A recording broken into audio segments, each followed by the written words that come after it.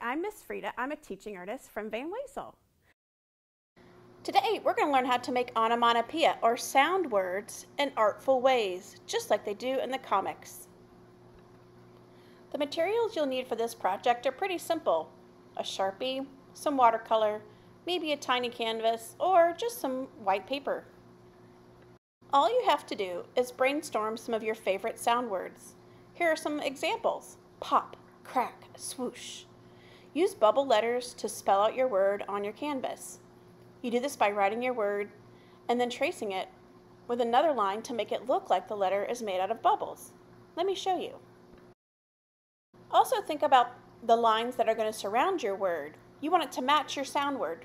For instance, for poof, I decided to use round shapes all the way around it. The final touch is to add some color. Here's another one of my favorite sound words, zap. Okay, it's your turn. We can't wait to see what you come up with.